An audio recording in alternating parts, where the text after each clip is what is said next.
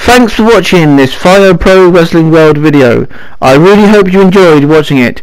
Please note I am taking requests for any matches that you would like to see on Fire Pro Wrestling World.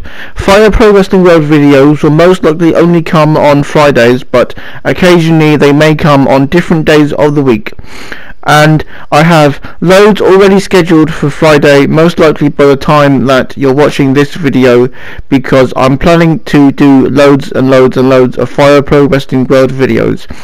Please note the following wrestlers are banned from ever appearing on any of my videos.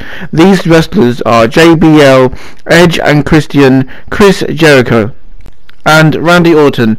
Those following wrestlers are banned from ever appearing on my channel. That may be it, but later if I need to I might add a few more because you never know, I may end up adding a few more to my banned list. But those wrestlers I just mentioned should be the only wrestlers that are on my banned list. When you comment down below suggesting a match that you would like to see in Fire Pro Wrestling World, please note you can pick anyone on the New Japan roster or Creative Superstars that I have downloaded on the Fire Pro Wrestling World online but the other roster will probably not appear. It will just be the New Japan wrestlers and wrestlers that I've also downloaded. So thanks for watching this video and I hope to see you in the next one.